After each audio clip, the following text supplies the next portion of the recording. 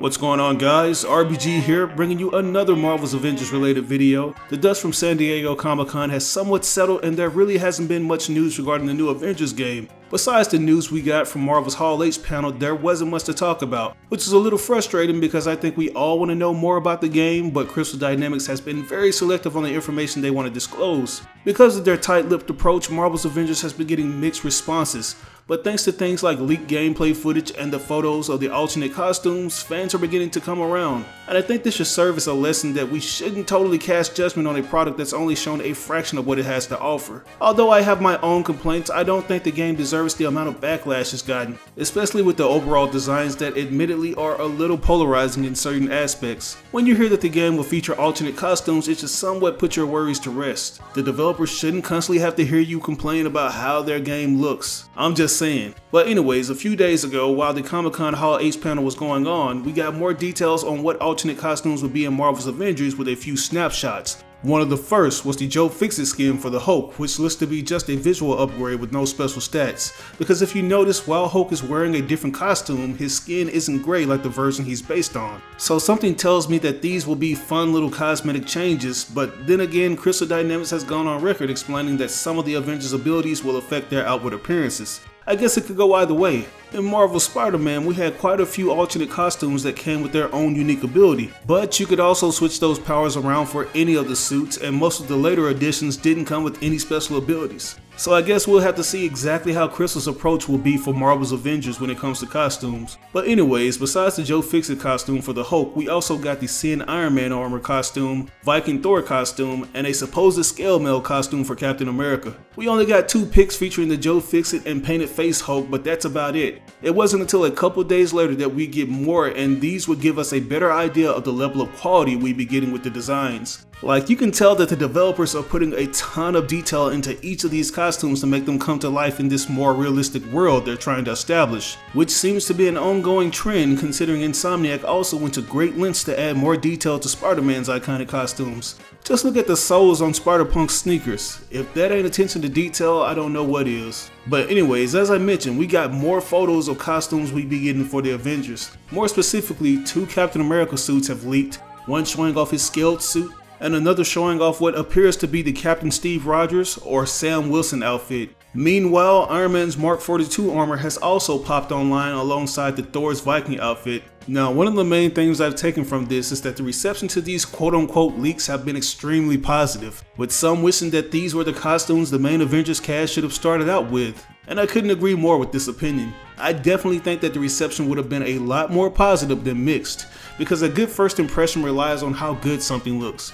We expect the characters to look just as bad as they look in the comics and movies. What I find funny is that although Marvel's Avengers is being developed by Crystal Dynamics, it's still a Square Enix published game. And if any of my fellow Marvel heads out there aren't already aware of this, Square Enix already has a well documented history with Marvel products. Something they're widely known for in the collectors community are their Play Arts Kai toys, which are these highly detailed action figures with awesome articulation and posability. What they basically do is take CG models from things like video game, anime, and movie characters and sculpt them into actual figures. But it doesn't just stop there, they actually do their own takes on popular comic book characters. And as you can see, their Marvel related figures have a very Japanese anime-esque aesthetic to them. If there was anything the devs could have done to get us pumped, it would be to use the Marvel variant style for the character designs.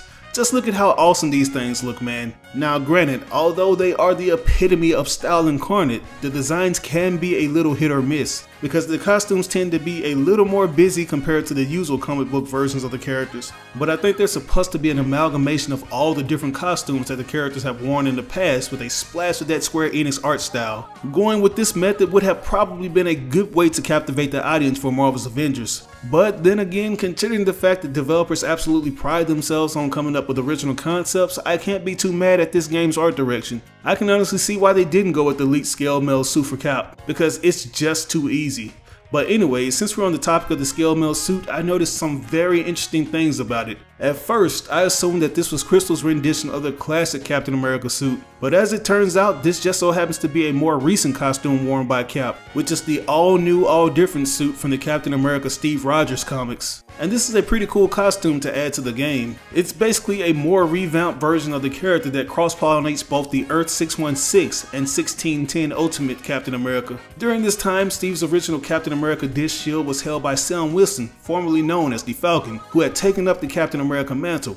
For a time, there were two Captain Americas, Sam Wilson and Steve Rogers. While he didn't have his circular shield, he did use one that was similar to his earlier shield except it had a bit of a twist to it. The edges were infused with energy. Currently, the only other game that features the all new, all different Captain America suit is Marvel Heroes, and I'm guessing Marvel Future Fight since he's been seen in one of the cutscene trailers. I'm interested in seeing how his gameplay will be and if he actually has the energy shield in Marvel's Avengers. Since we're on the topic of this all new, all different Captain America Steve Rogers, I think it's safe to assume that the other leaked costume is Sam Wilson because they showed these costumes back to back. And as I mentioned earlier, the all new Captain America is closely associated with Sam Wilson's Captain America in the comics.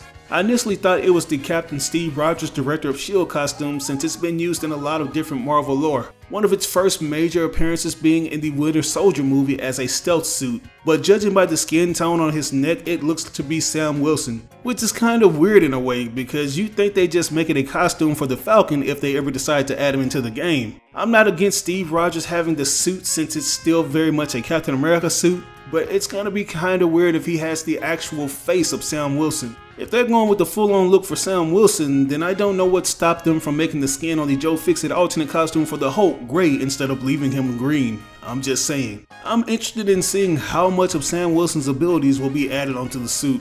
Like are they gonna add the Falcon wings? Because if they do, I hope they won't just be there for pointless visuals. I'm hoping to see some kind of gameplay functions for them. As a matter of fact, I hope that's the case for all of the alternate costumes. But anyways, that's all I have to talk about with you guys today. We're getting very close to getting our hands on the actual demo, and I'm not gonna lie to you guys, I'm really concerned on what Crystal Dynamics is gonna allow us to play. I'm kinda understanding why they've been so secretive in showing the gameplay because it could essentially be the demo we're getting, which would be a bummer because we've already seen what it has to offer in multiple leaks. So it's going to be interesting to see how much new material they add to the demo because it's most likely going to be the A-Day footage we got at E3 and Comic Con. But we'll just have to wait and see what they decide to do.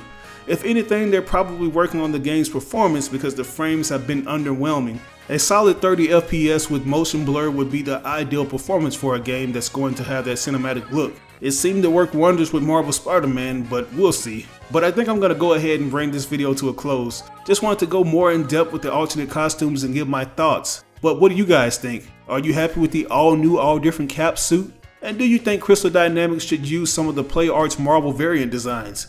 Let me know down in the comments below. As always, I ask that you like or dislike the video. It doesn't have to be a thumbs up, it can be a thumbs down. Any feedback is good feedback will only help me improve on my channel. But if you really enjoyed the video, it would help me out tremendously if you shared it on social media outlets with all your friends and followers. Sharing really makes a difference. But this is your boy RBG signing out on another video. I'll catch you guys later. Peace out.